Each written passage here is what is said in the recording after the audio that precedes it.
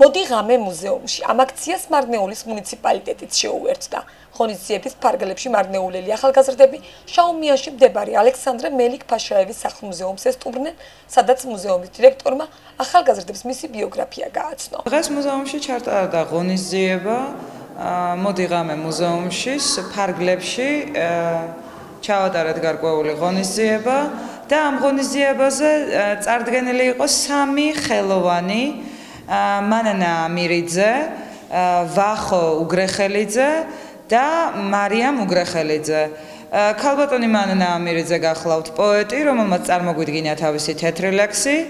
დაძმა უგრეხელიძეები კიდევ წარმოგვიდგნენ უძველესი ქართული კულტურის მიმდევარი ხელოვანი როგორც ხელოვანი ადამიანები აქციის ფარგლებში ღონისძიება მიხეილ ჯავახიშვილის სახელობის მუზეუმშიც მიმდინარეობდა, სადაც მწერლისადმი მიცხვნილი საღამო ჩატარდა. ახალგაზრდებმა კიდევ ერთხელ გაიხსენეს მიხეილ ჯავახიშვილის ბიოგრაფია და მწერლის ცხოვრებიდან მნიშვნელოვანი ეპიზოდები. მოეწყო დაძმა მარიკო და ვახო უგრეხელიძეების გამოფენა. მარნეულის მუნიციპალიტეტის მერიამ ორივე მუზეუმს სამახსოვროდ საქართველოს მუზეუმების შესახებ საინფორმაციო წიგნი გადასცა.